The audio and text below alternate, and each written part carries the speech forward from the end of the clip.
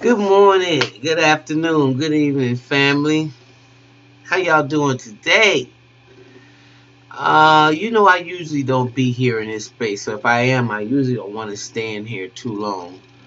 Um, but it's really important.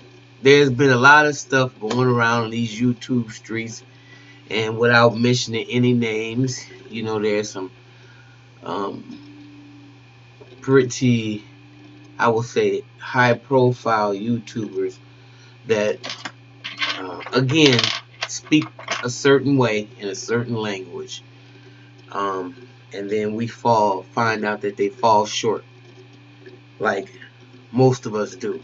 We fall fall we all fall short and there's going to be a lot of fault found in human beings. There's a lot of flaws. But some flaws are um, more manageable. Some flaws are manipulative in nature and hurtful in nature. And however it is, it really doesn't matter. The end result is they need to be addressed and dealt with. And I think it's one of the main reasons why here in the mental health, I tell each and I ask y'all, how are y'all? home lives. I ask you what's going on in the family because nine out of ten times what you find out is usually people that have a lot a lot of venom for certain situations and I'm not saying that these situations don't require some emotional charge behind them because they're very real but what I also challenge most people that when I find out. If you find out a person is real revolutionary and you know white man this and white man that, white man this, and there's just a lot, lot, lot, lot behind it. All those things that they may be saying may be true, and I'm not here to you know speak on that. But what I am here to speak on is how does that person govern their family life? I'm more interested in that because really when you start from within, a lot of this other stuff again works itself out or puts it in a manageable state where you can attract the things that need to be there. A lot of y'all don't believe that and you got free will. Okay?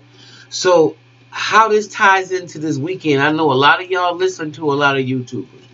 You are all caught up in how they speak, and you know how they perceive or give the impression how they're governing their lives.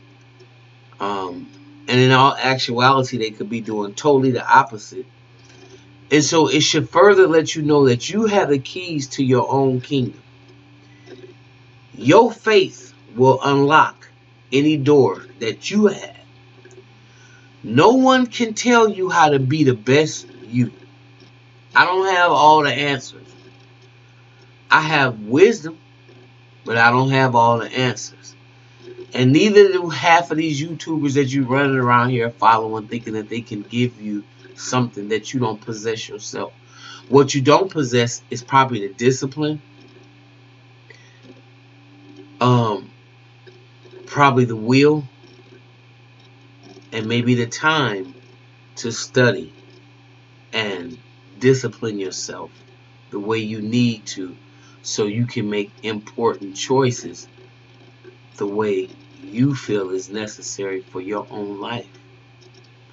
So what ends up happening is you get end up disappointing by a lot of people disappointed by a lot of people and a lot of people's behavior or the or lack thereof.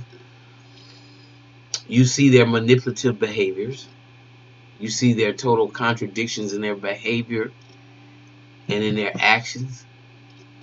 And I think that's something that we talk about in the mental health a lot is do your actions match your mindset, what's coming out of your mouth.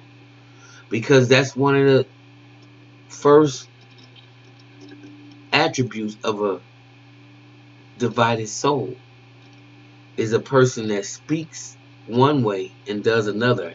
And they may have very well all the intent, the pure intent to do what they say and say what they do, but somehow the wires get crossed from the time it leaves their mouths until the time that their body is supposed to do the action. So what I want to encourage y'all to do is to build up your own strategies, build up your own power base.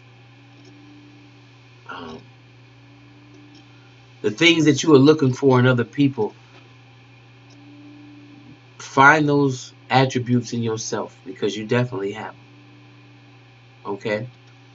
And so, with that being said, remember to sweep around your front door first.